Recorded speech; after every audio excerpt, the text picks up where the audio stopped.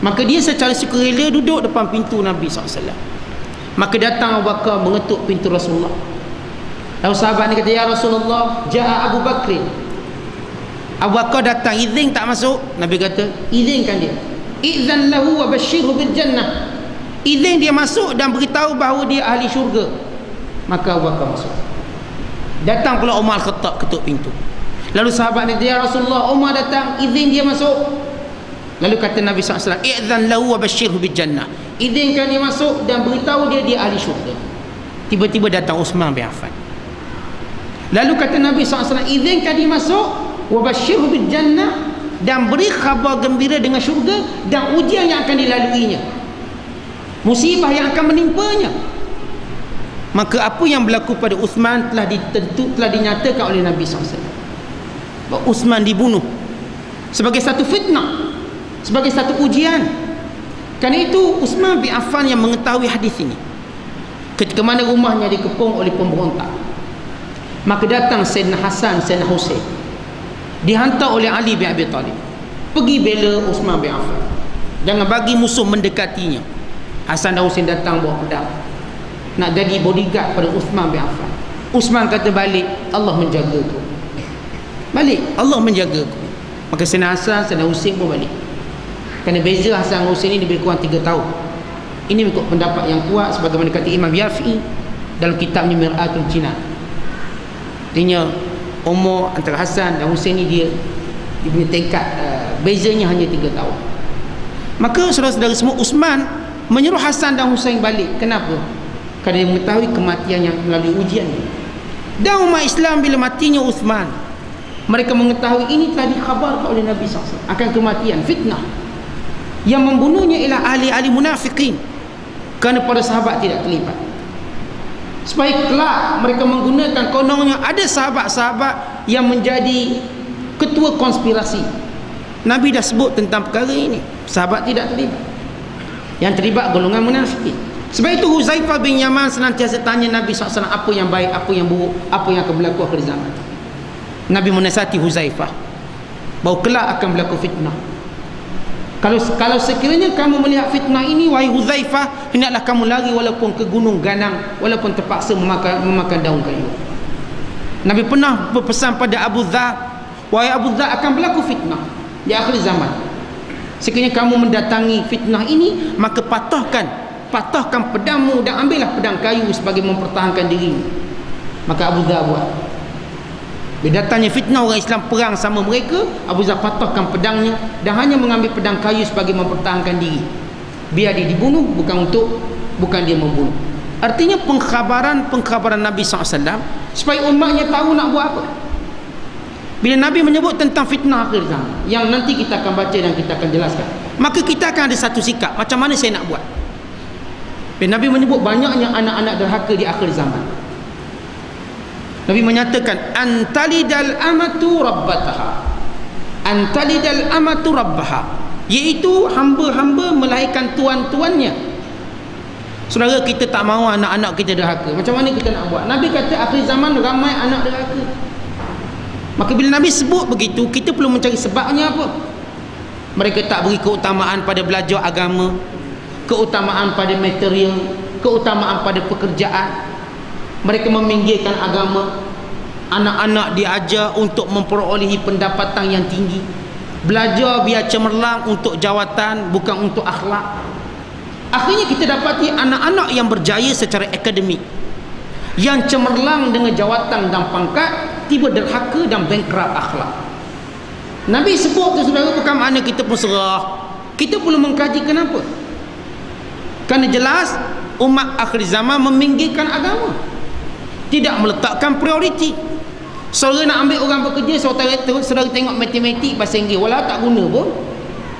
Saudara tak tengok agama walau digunakan untuk menunjukkan dia amanah atau tidak amanah. Dia takut pada Allah atau tidak. Akhirnya hari ini pecah amanah khianat bukan orang orang orang luar orang dalam. Yang curi duit bank bukan orang luar orang dalam. Yang ambil duit syarikat bukan orang luar orang dalam. Kerana mereka tidak ada agama mereka ada akademik, mereka cerdik, mereka bijak. Sehingga kita saudara meng mengklasifikasikan mereka sebagai jenayah kola putih. maknanya bijak cerdik tapi jahat. Mana cacat celanya pendidikan yang mereka perolehi? Kerana tidak ada agama. Kita terikut dengan budaya barat sistem sekular mereka. Meminggirkan agama membuang agama. Lalu kita terapkan di negara kita dalam kehidupan kita. Akhirnya anak-anak kita hebat dari semua segi. Quran tak reti baca. Hebat dari semua segi semayang tak reti solat jenazah pun tak pandai. Yang pernah seorang ustaz dalam satu radio secara langsung. Dia cerita pengalamannya mandikan jenazah. Seorang yang kaya yang berada. Secara ringkasnya dia sempurnakan jenazah maka anak dia saudara selama itu tujuh orang semua belajar dekat UK kita bukan nak kata UK buruk tak.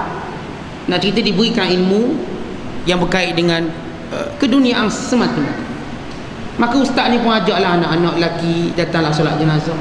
Tak erti seorang pun solat jenazah. Tak pandai. Lihat anak-anak yang dilahirkan zaman ini tak erti solat jenazah. Saudara tanyalah cikgu-cikgu yang mengajar sekolah Anak-anak kita pandai tak solat jenazah? Bukan kita tanya tingkatan satu, tingkatan lima. Atau tingkatan enam Kalau kita tak pandai solat jenazah. Tak tahu macam mana solat jenazah. Rasa pelik pula solat tak ada rokok, tak ada sujud. Akhirnya mereka tak kerti solat. Lihat bagaimana jauhnya kita dari agama. Adakah kita suka kalau sekiranya kita mati nanti anak kita tak kerti solat jenazah untuk kita? Akhirnya orang lain yang beria doakan kita. Anak-anak kita tidak mendoakan untuk kita.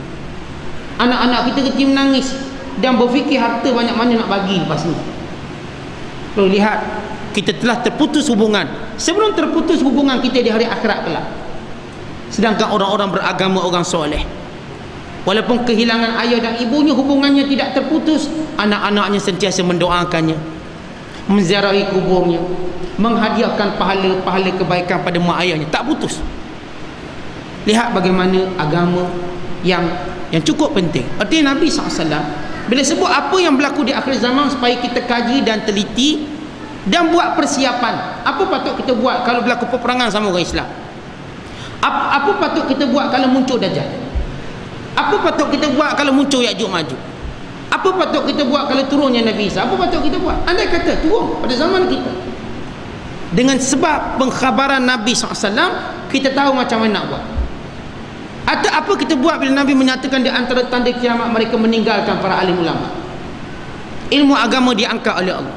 Sebagaimana sabda Nabi SAW inna Allah la yakbidul ilma intiza'an yantazi'uhu minal ibad walakin yakbidul ilma biqabdil ulama hatta idha lam yubki aliman ittakhadhan nas ru'usan juhalan fasu'ilu fa'aftau bighairi ilmi fadallu wa adallu. Kata Nabi SAW tidak akan berlaku kiamat sehingga Allah Ta'ala mematikan para alim ulama. Mengangkat ilmu dari dada-dada mereka. Sehingga tidak ada lagi orang alim.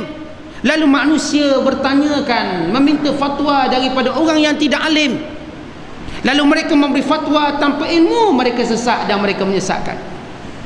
Saya sebut berulang kali bahawa kecenderungan beragama kita akan wujud. Kalau tak wujud hari ini, esok lusa akan ada.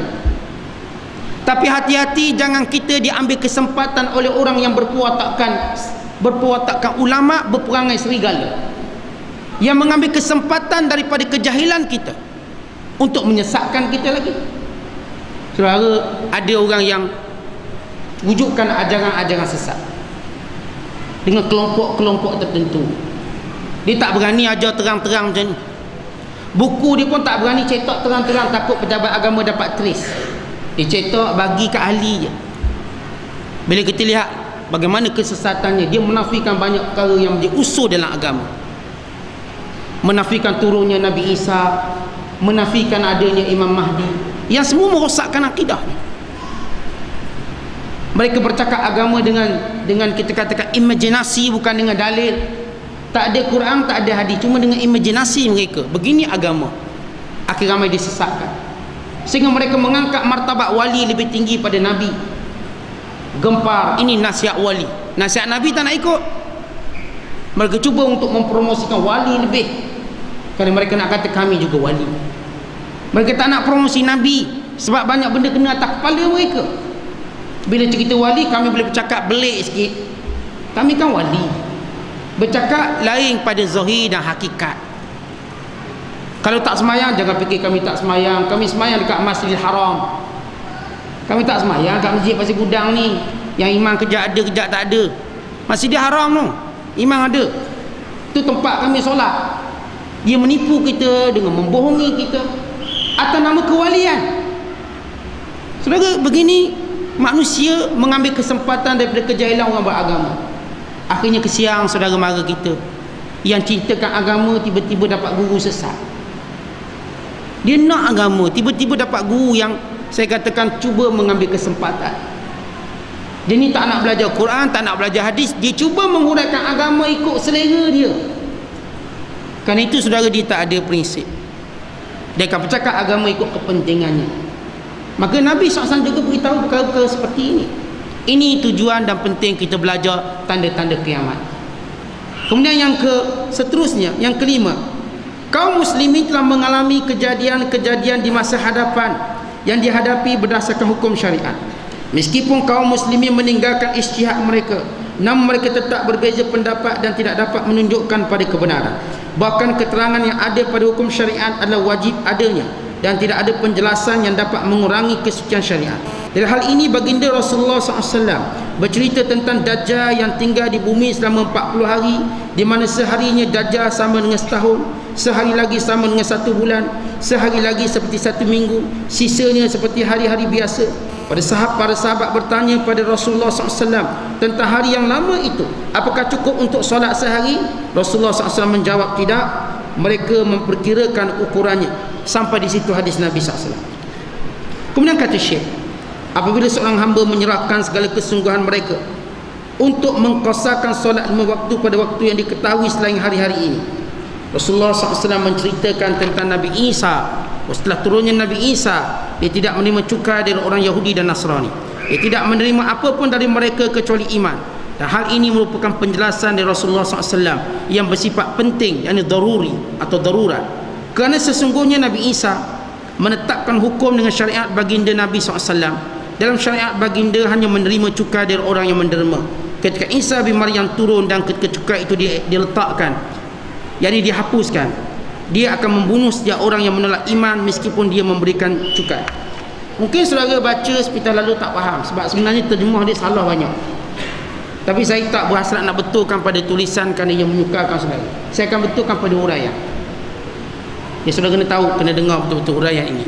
Kerana terjemah ni ternyata dia lari swing dia sampai 40-50%. Berdasarkan naskah asal yang saya lihat. Dalam bahasa Arab. Apa maksudnya? Antara sebab kenapa kita kena belajar tentang kiamat, tanda-tanda kiamat. Kadang-kala ada sebahagian tanda-tanda kiamat yang akan mengubah bentuk syariat. Yang menuntut kita memahami syariat dengan betul. Misal contoh.